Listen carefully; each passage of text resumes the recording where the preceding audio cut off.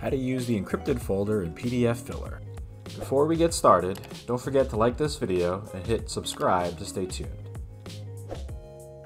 First, go to the Documents tab and click Encrypted. Then type in the password and click Enter. Next, drag your document to the encrypted folder and your document has been moved. To change the password for your encrypted folder, go to Settings and then click Change Password. Next, enter the phone number to receive the activation code and click Send.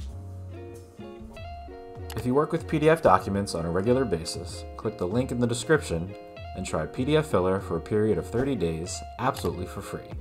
Use PDF Filler to modify your document's content, type or erase text, highlight important information, black out sensitive data, add sticky notes, images, and so on. In addition to editing PDFs online, you can print out a completed document or save it to your device as a PDF, Word, Excel, PowerPoint, or JPEG file. Send it via email, fax, SMS, or USPS. Post your document online, share it via direct link, or send your PDF for signature to one or several recipients. Hurry up to get your free 30 day trial that you can cancel anytime with no obligations. Don't forget to subscribe and let us know in the comments section if you have any questions.